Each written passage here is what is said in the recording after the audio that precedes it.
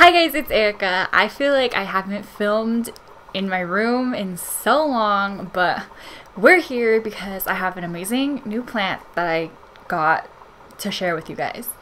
So, as you can see, I have some plants here on my little soil uh, bucket. If you watch my videos, I've been mentioning this plant, which is a dragon fruit plant. I recently got this from my friend's house and he just gave me some cuttings. So it's finally time for me to pot them, show you how to get some cuttings out of this plant, and I'm just overall really excited. These cuttings are actually really old. I got them at the beginning of December, so they're like a month old now. And I should not have waited this long to start propagating these. Um, As usual, there are two different ways to propagate this plant. One is by soil, one is by water. And this plant here is the healthiest little guy, even though he's a little bit sunburned. But he was propagated in water, and you can see he's got all these crazy roots, okay? I literally just pulled him out of water right now because he needs to be potted. So this has been sitting in water for about a month and it has been sitting in direct sunlight, uh, which is not good, but he feels very solid. And let me show you how my other cuttings feel. So these guys are very flimsy. You can see, hopefully, that they're moving around. I don't know if they're going to propagate, but I'm still going to try it. Anyways, so this is how a healthy guy looks, except for this which is sunburn. So they should not be in direct sunlight. But yeah, I'm gonna plant this guy and I'm gonna show you how to get roots on your plant. When these plants grow, they kind of have little segments to them. So this is one segment of a plant and you can see it kind of thins out here, but this plant is cut off flat. And this is how you need your plant to look when you're going to propagate it. And we're going to move these spiky babies over because I do not want to get stabbed. So I'm going to use my biggest plant here. He's a little bit dirty. And I'm going to get a knife. So I have a knife here. And this is where the segment is. So I'm going to cut off about like an inch or two. And really be careful because they have spikes on them. While I was filming this, my audio actually cut out, so I'm just gonna tell you what's going on. Uh, right here, I'm letting you know that we don't really need that extra part that we cut off. And then this is how your plant's gonna look after you cut it. And that is a calloused over cut that's kind of not really um, focusing. and then I'm gonna show you here a comparison to an uncalloused cut. So you want to make sure that you are using a calloused over plant in order to put it in soil because otherwise it's just not going to be that successful.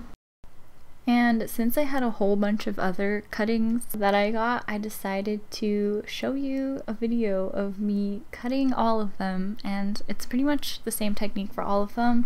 They would normally be more easy to cut if they were healthier because they're kind of really flimsy, so it made it a little bit difficult. I eventually realized that my mic doesn't work, so it's not going to be this voiceover the whole time. But here is me showing you that I have two calloused over plants that I can put into soil, and uh, I refilmed this part, so we're just going to skip ahead to the refilming. So my audio cut out without me noticing. so I'm kind of refilming this part, but this is how I'm gonna pot these plants. Um, I'm pretty sure I showed you guys how to cut them so that they're ready for propagation. And right now I'm gonna pot this little baby that has roots on it and I already kind of potted him earlier but took him out of his pot to show you guys. Or I took him out to refilm it. So I have my soil mix here and this soil mix is different than the soil mix I would normally use. Normally I use coco coir but I ran out of coco coir and they come in a brick that you need to hydrate and it takes like an hour for that brick to hydrate. So instead I'm just using peat moss but I do prefer coco coir by a long shot.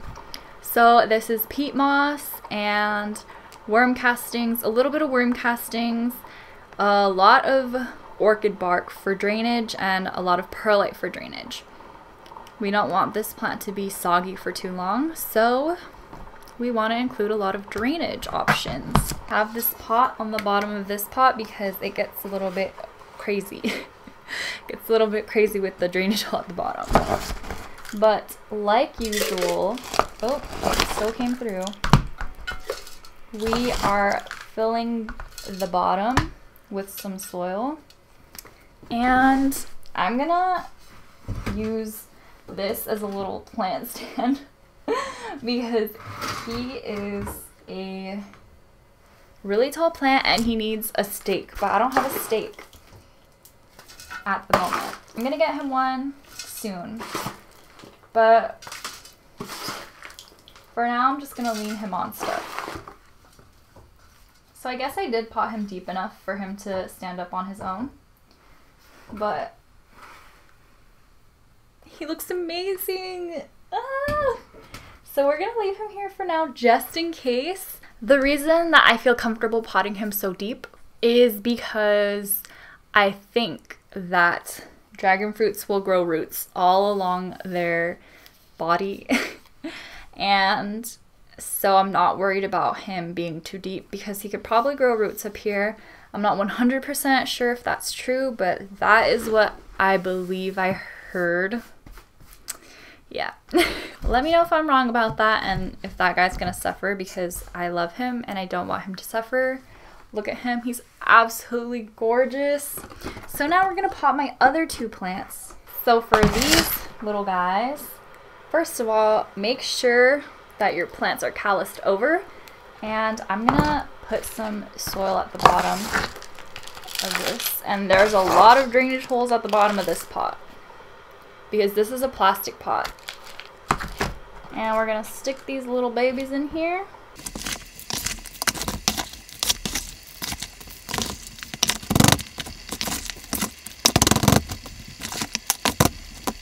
There we go. Don't they look so cute in here? And I'm going to, I'm going to water all of these plants once I'm done filming this video. I think it will be easier to take them outside and use the hose to water them than to try and stick this guy into the sink and water him. So I'm just going to save that till later. But yes, I am going to water them. I just want to talk a little bit about this plants and why I think it's so cool. So first of all, hopefully in a couple of years, they're going to be big enough to give me dragon fruits. And Dragon fruits are very cool fruits. I have actually not tried one. And the the tree that these little cuttings came from is actually really big and it grows outside here in Southern California and it started producing fruits at in in early December. So it had fruits ready to eat in early December and I did not try one. I don't know why, but I should have maybe it'll still have fruits for me to try. but I think it's very cool that this plant has fruits in early December. Um, I think it's on the same schedule schedule or it fruits around the same time as a, a pomegranate tree. If you have a pomegranate tree, that tree and this tree are going to be on the same schedule, giving you fruits at the same time so you can make a dragon fruit and pomegranate fruit bowl. Not only does this plant give you fruits, and during a time of year when your other plants are kind of going to sleep and growing more slowly, this guy's going to be giving you fruits. Not only that, but this plant looks absolutely gorgeous, which is honestly the real reason that I wanted it. So it has, I'm sorry I'm showing you on this really tiny plant. Let me find a bigger piece to show you actually. It has these beautiful scalloped edges and it does have spikes, so be careful because I got stabbed a little bit. And this one doesn't have any spikes on anymore because I accidentally knocked them all off. But it has these beautiful scalloped edges and it has like a different coloration for the scalloped edges. So it's kind of like outlined. And I think it looks absolutely gorgeous. This is such a pretty plant. Look at this aesthetic. Like, are you kidding me? And I just really appreciate this plant. Like, it is, I can't describe it in any other way than it's so pretty. Like, this is such a pretty plant. And I hope you guys, if you don't have one already, are inspired to get one after watching this video. Um, let me know in the comments if you do because I think it would be so cool for us to learn about dragon fruits together. So these guys do not like direct sunlight. Um, I think that they can get used to direct sunlight, but this guy was in direct sunlight. He was not happy about it when he was sitting in water, so I don't think that these plants appreciate direct sunlight, but they do like bright sunlight. And I'm going to keep this guy in my east facing window and I'm going to keep this guy outside on my east facing porch. The mother plant that these guys come from is living outside in Southern California, so this climate is good for those plants. Uh, we don't really have harsh winters. They like to be watered when their soil is dry, so after I water these initially, I'm going to wait for their soil to dry before I water them again. Other than that, I don't know much about these plants. I just know that there are so many of these. There's so many different kinds of dragon fruit plants. I think there's a whole entire YouTube channel dedicated just to dragon fruits, which I think is insane because I honestly thought there was only one kind of dragon fruit. And I don't know much about them, but I know enough to propagate them.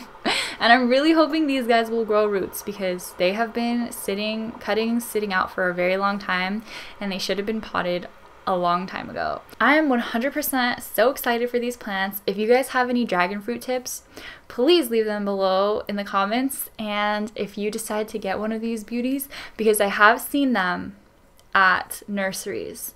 I've seen them multiple times at nurseries. So if you pick one up, let me know if you're gonna, I don't know if you're interested in this plant. I just, I just think it's so beautiful and it's such like a nice aesthetic. And I feel like this plant is going to be easier to take care of for me than a cactus because I don't know about cacti, but knowing to water a plant whenever the soil dries, I think is so easy. That's already what I do for most of my plants. So yeah, it seems like a very easy to plant to take care of so far. Maybe I'll update you guys later saying like this plant is a nightmare. but for now, I'm expecting it to be very simple to take care of and I'm really excited to see how it goes. So let me know if you get this plant. And that is it for today's video. I hope it wasn't too rambly. I feel like I can talk a long time about plants that I'm interested in. But thank you guys so much for watching. If you guys enjoyed the video, give it a thumbs up. I would really appreciate that. If you want to subscribe to my channel and you're not subscribed already, go ahead and hit that button. You could also hit the notification bell but I'm not pressuring you. Like I said, thank you guys so much for watching. I really appreciate you guys watching my videos. Like, thank you guys so much. And I will see you next time. Bye!